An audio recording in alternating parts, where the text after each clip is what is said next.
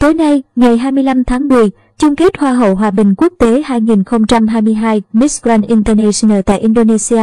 Tối nay, ngày 25 tháng 10, diễn ra chung kết Hoa hậu Hòa bình quốc tế 2022 Miss Grand International tại Indonesia, với sự tranh tài của gần 70 thí sinh.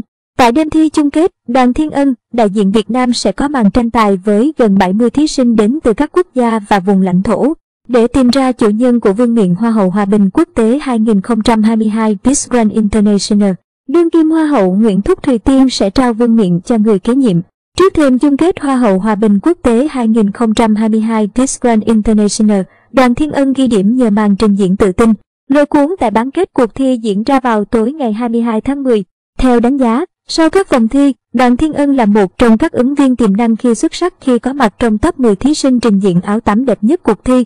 Đặc biệt, trong quá trình cạnh tranh giải thưởng Country Poker of the Year, Đoàn Thiên Ân đã chiến thắng thí sinh Enfawaraha đại diện Thái Lan với tổng số 4.745.250 lượt bình chọn.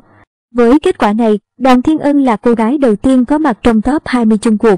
Kết quả chính thức sẽ được ban tổ chức cuộc thi công bố tại chung kết tối nay của Hoa hậu Hòa bình quốc tế 2022 Miss Grand International.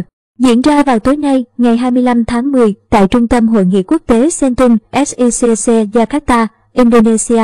Chung kết Hoa hậu Hòa bình quốc tế 2022 được phát trên kênh YouTube fanpage Miss One International tại địa chỉ https 2 gạch chéo gạch chéo www youtube com gạch chéo c gạch chéo grandtv ch https 2 gạch chéo gạch chéo www facebook com gạch chéo mixs grand intrnational bảo thoa.